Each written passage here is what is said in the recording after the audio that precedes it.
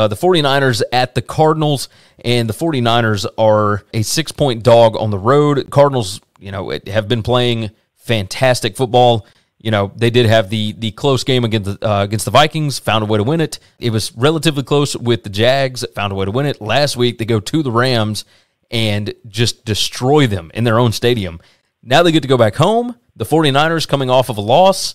And and I, I tried every which way that I could to rationalize a San Francisco cover or even possible win here. And when I look at the numbers and I go back through the game scripts for for the last however many games, man, I don't think that I don't think San Francisco is all that good. Like their defense has not been playing well.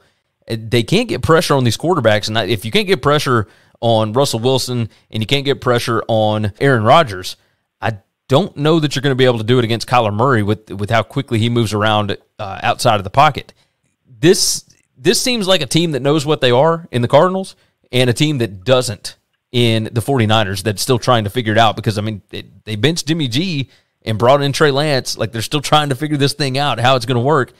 Uh, you don't want to be going up against the team that's playing the best in the NFL uh, with a with a situation like that. I'm going to take the Cardinals minus the six. It seems like a lot of points, but you and I both know when we see a line that looks a little crazy, we might should go with with Vegas here because there's there's a lot of people in on the 49ers already early this week.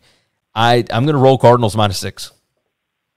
Yeah, man, we're seeing everything very very similar, and I, and I kind of I think that makes for a boring boring podcast, but I'm, not going to go the other way just just because I think this Cardinals team is just a buzzsaw right now. I said that earlier.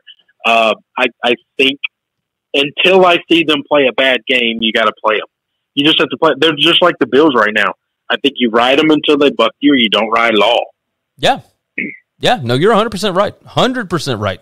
Thanks for listening to the Winning Cures Everything podcast. The website is winningcureseverything.com, and if you want to connect with us, we're on Twitter at Gary WCE, at Chris B. Giannini, at Winning Cures, or you can email us, Gary at winningcureseverything.com or Chris at winningcureseverything.com. Subscribe everywhere you need to subscribe, and we'll see you soon.